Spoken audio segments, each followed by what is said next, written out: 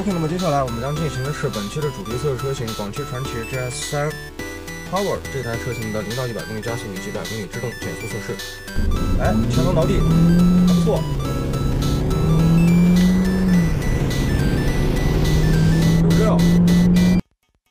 来，前头倒地，还不错。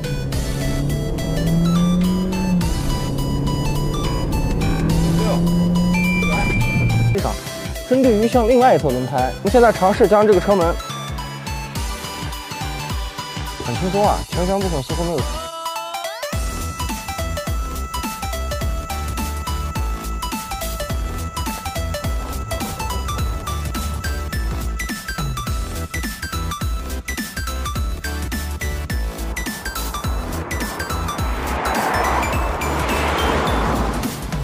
我现在轻轻压到这个边角，然后到一定角度之后，我会放开。我们来看能不能关闭。哎，可以看到，在这种情况，所以这个车型目前我们认为六十五公里到六十七公里之间，它整体的弥留变线应该是在目前这个气候和状态下，整车能够达到极限。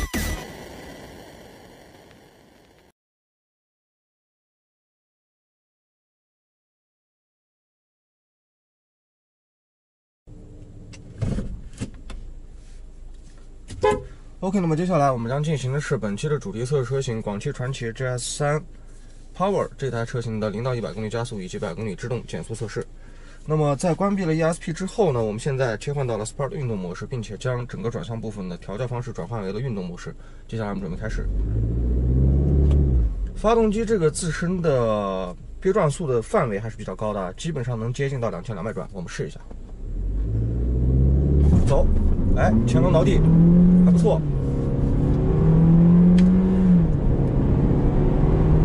九十六，一百。第一个桩的位置，我们停下来了。我们可以看一下目前这台车型整体的这个表现。在这台车型目前第一次加速和减速部分的表现当中，我们来看啊，零到六十公里三秒九，零到一百公里八秒三啊，八秒三，零到一百到零十二秒整，最大尾速一百零三点三。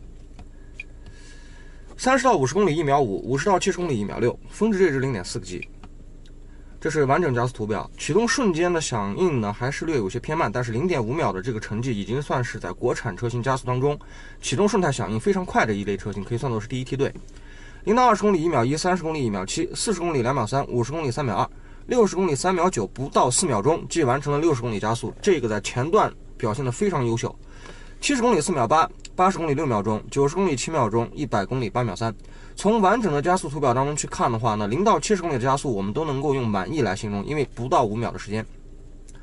八十公里和七十公里之间有一定的这个衔接上的时间落差。九十公里到一百公里之间也有一定的衔接上的时间落差，但整体来讲的话，我们认为在九十到一百的这个尾段，如果能够再去把齿比调密一点，让它拥有更快的一个扭矩输出，或者是更大的这种呃加速体验的话，应该能够做到在八秒钟之内完成这台车型整体的加速表现。而我们也认为这台车型目前就单就加速表现上来讲的话，应该是轻轻松松再优化一部分的话，就可以去破八进七了。接下来我们来看减速部分，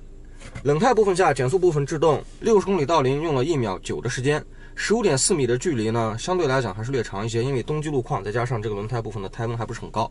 峰值这值一个 G，平均这值零点九。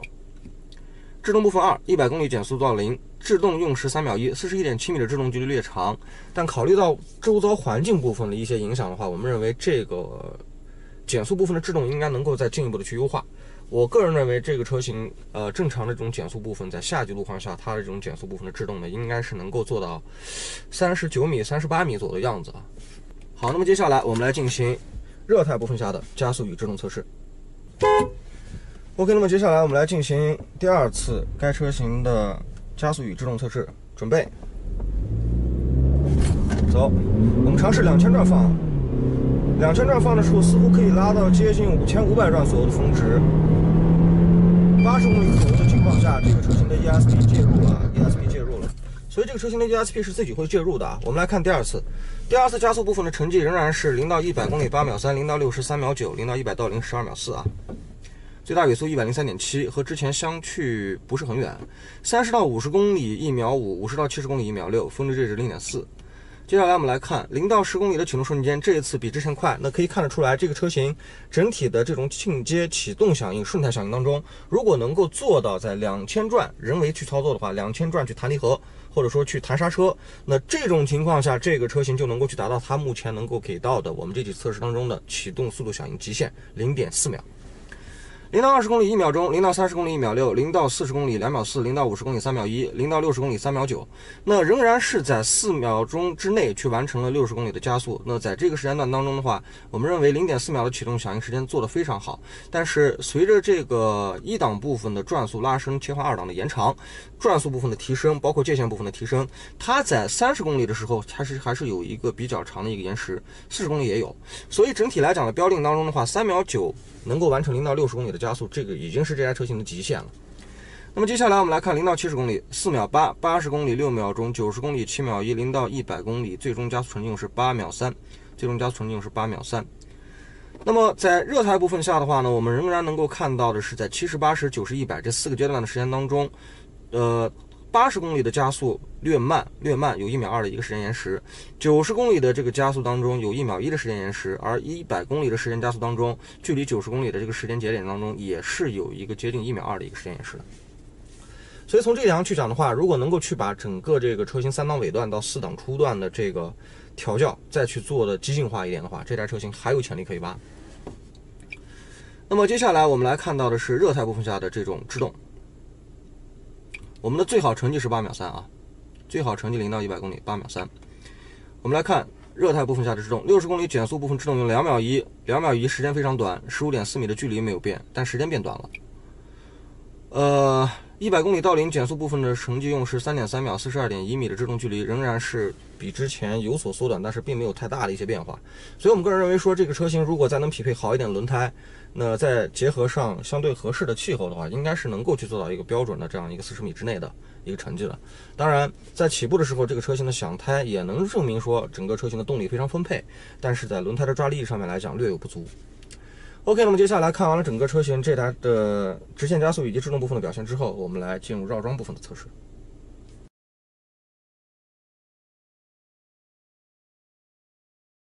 那么初次的这两次部分的绕桩当中，我们会将 ESP 部分关闭。在关闭了 ESP 部分之后呢，这个车型会有一些尾部部分的一些滑动，有可能会让我们大家看出来。好，那么接下来我们来看一下这台车型整体的表现到底如何。初始车速啊，我们尝试放在相对较安全的这么一个车速，在六十公里每小时。我们来看一下，六十三，我们收油，六十二。六十一，好，紧装。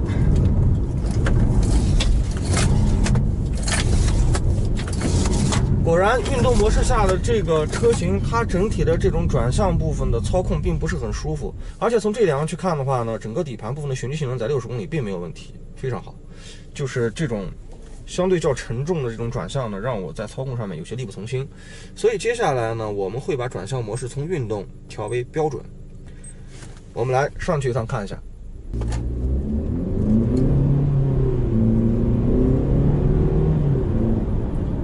好，我们维持六十四、六十五、六十六。好，维持进装。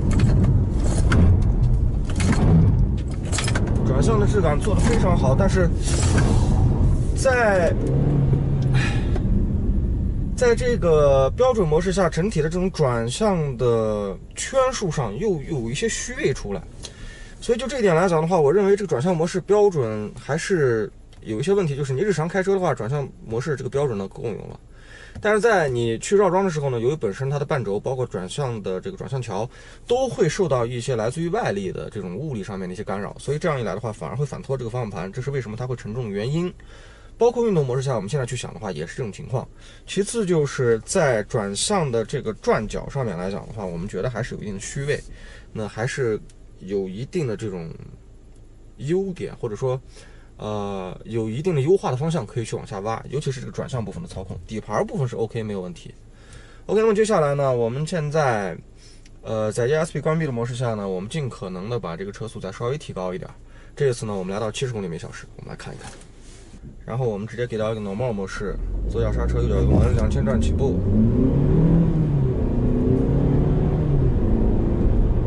六十八、九、七十，好，七十一，我们丢开油门，七十，准备进桩，看一下，进，进不去了，太快了。ESP 开始介入，并且这个车型哪怕低于七十公里车速下，由于本身惯性的问题，它也开始做推头。所以就这一点来讲的话呢，这个车型 ESP 一旦介入之后，车头部分的负重负担。呃，负重还是太大了一点，所以这个后部偏轻、前部偏重的问题，会干扰到这个车型在转向时候整体的一个表现。所以目前以 ESP 关闭的情况下，这个车型最高车速应该也就是在六十八公里每小时左右。所以接下来呢，我们不到七十啊，我们回到六十八的这个车速，回到六十八，我们之前是六十五通过的，我们回到六十八，我们再来试一下。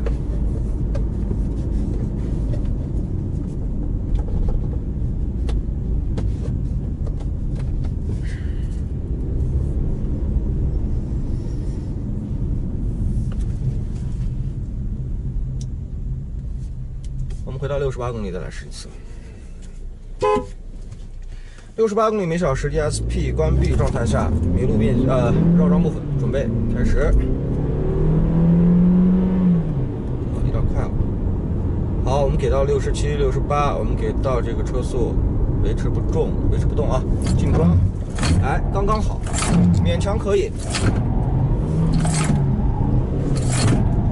还是这个转向的虚位问题。转向的虚位确实很大，而且相对尺寸来说的话呢，这个尺寸转向盘的尺寸略小，所以在这个转向盘本身它转到半圈到半圈多的时候啊，它的这一点虚位在目前的标准模式下让我很难受，在运动模式下又偏重，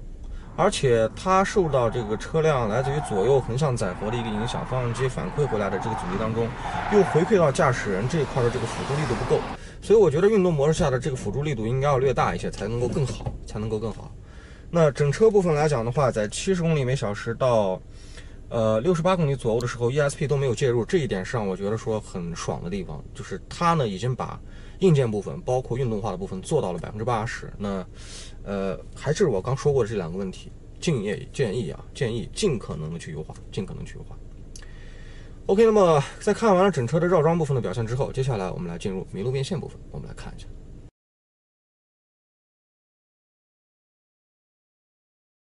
好，那么接下来我们来进行有关于这台车型的麋鹿变线测试。六十五公里第一次，准备开始。ESP 激活模式下，前轮部分控制的非常不错啊，没有任何的滑移、滑胎。那我们现在呢，让车速达到六十六、六十五。好，我们丢开刹车和油门，准备进桩。六十五公里每小时下呢，这个车型整体的表现，前悬部分并没有太大的负担。那在整车通过桩筒的时候，也并没有去碰到桩筒，并且通过相对比较顺利。所以就这一点来讲的话，我认为说这个车型整体的表现还算不错。但是在六十五公里的车速下的话呢，总还是多少会有一些让人想去控制这台车型的感觉，因为这个车型虽然说悬架部分在侧倾的时候的支撑富有韧性，但是。还不是那种比较刚硬或者说比较硬朗的那种感觉，所以给人的这种，呃，还是和转向之间的配合这种信心不是很足啊。因为这个转向的时候，你总会觉得说慢半拍。OK，那么接下来呢，我们在 ESP 激活的状态下呢，我们再来一次看一下这个车型整体的表现。六十八公里每小时麋鹿变线测试，准备开始 ESP 激活状态，走。四十、六十、六十五、六十六、六十七、六十八、六十九，我们丢开油门，六十八，进桩，ESP 部分激活，并且不推头。这个时候，这个车型就有一个推头问题了。那还是因为低温状态下的轮胎抓力不足，这是第一。第二呢，是有关于这个车型在前悬部分和后悬部分的 ESP 干预加持制动之后，整车前后部分有一定的波动。这种波动会带来有关于前悬部分的一个推头问题，包括像你在重心完全转移到前方轮胎的时候，整体的前悬部分的转向其实就不是很听话了，因为它是在滑移状态。所以这个车型目前我们认为六十五公里到六十七公里之间，它整体的麋鹿变线应该是在目前这个气候和状态下，整车能够达到的极限。OK，那么接下来我们看完麋鹿变线之后，我们再来看一下该车型别的方面。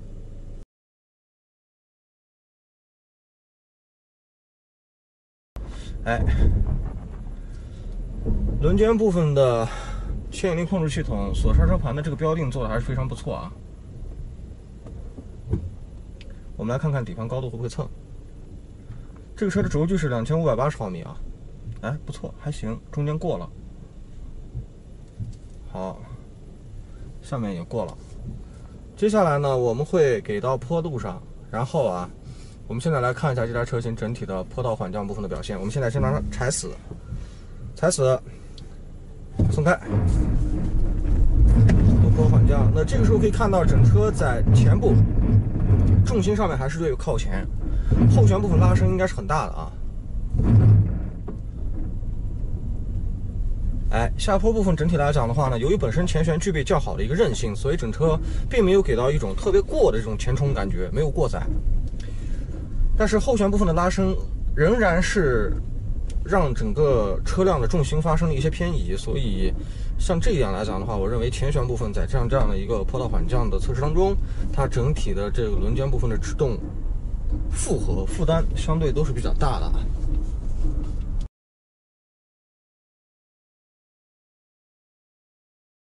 OK，我们现在准备开始进行坡道部分的测试。我们将车速控制在十公里每小时啊，十公里到十五公里之间，不采用冲坡的方式。我们来看看轮胎部分的附着力，以及这个车型前悬部分和后悬部分的弹跳抑制，还有轴间部分这一块轮间的一个锁止。哎，在坡底的时候，其实 ESP 部分就已经开始工作了。那这个时候轮间部分的抓地明显不足，但是 ESP 部分、TCS 部分也在努力去纠正。纠偏，然后给到一些牵引力，往前走了不足半米之后呢，这个车型就上不动了。OK，那么接下来我们现在尝试把这个车往后倒。可以看到轮间部分的 TCS 控制呢，还是依赖于轮胎部分自身的一些这种抓地力的表现，所以我觉得如果能够升级一下这个轮胎的话，应该会有一个更好的表现才对。那么接下来我们关闭 TCS，然后呢，我们再来试一次。TCS 关闭，这时候可以看到转速可以拉得相当高，但是轮胎部分的抓力由于不足啊，所以你可以看我即便是在原地的情况下，仍然是在空跑。所以就这一点来讲的话，我认为这个车型它整体轮胎并不适合于在野外路况下这种路况下去做一个坡道部分的攀爬。而从这一点去反推刚才的。陡坡缓降部分的测试也能够看得出来，陡坡缓降部分的系统工作非常出色。正因为这一点，轮胎部分的抓力不足，所以它才能够有一个更高的效率去执行有关于在陡坡缓降当中四轮部分的制动。好，我们现在再往后稍微退一点。接下来呢，我们用到 D 档的模式，然后我们给到车辆一定的加速距离啊。前悬部分在中段的时候的弹跳还是很厉害啊！给油，四十公里。轮胎部分基本没有什么太大的抓地力啊，而且转向部分由于本身轮胎在空转，也没有太多的一些这种可以调整的一种余量，能够让你去扒住地面。再加上现在的这个场地呢，这个轮胎真的是不扒地，所以目前能够攀爬到这种半坡的状态，已经是目前这一台 GS 三原配的这款轮胎。能够去给到的这种极限，呃，悬架整体的舒适度做的不错，变速箱部分的耐受度做的也可以。即便是我现在一直在 D 档的档位当中，也并没有出现更多的过热，或者是有其他的一些类似问题。而且输出也还可以，我觉得个人还是认为说这个车型应该进一步的去加强有关于它在呃轮胎部分这一块的一个装配，或者说呃采购部分的一个标准提升。那一定程度上能够有效的去把野外路况下的这种轮胎部分的附着能力去进一步的去做一个提升出来。OK，那么接下来我们来看一下该车型别的方面。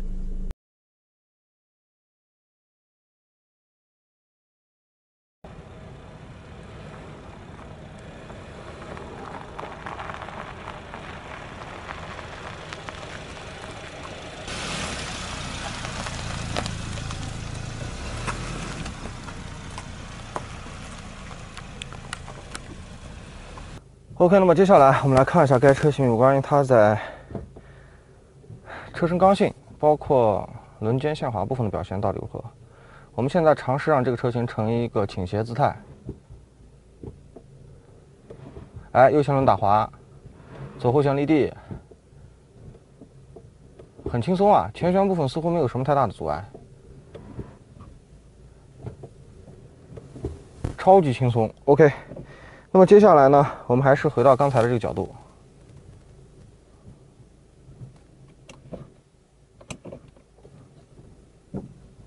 好，我们来看一下该车型的车身姿态。在刚才整体的表现当中，右前轮的部分呢，由于本身是冲下的，但是由于本身这台车型目前是一台前驱车型，后轴并没有推力，所以它右前悬部分这个轮胎部分的锁止，包括左前轮给到的动力输出还行，在轮间下滑当中的表现不错。那么接下来我们来看一下车身刚性。